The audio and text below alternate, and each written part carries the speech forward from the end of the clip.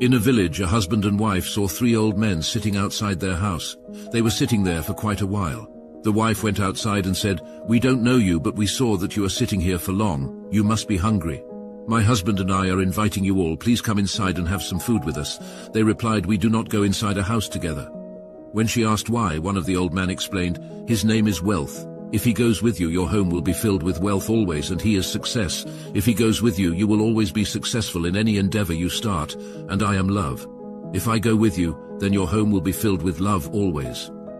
Then he told her to discuss it with her husband, which one of them they want in their home. Her husband was overjoyed hearing about it and said, let's invite wealth to our home.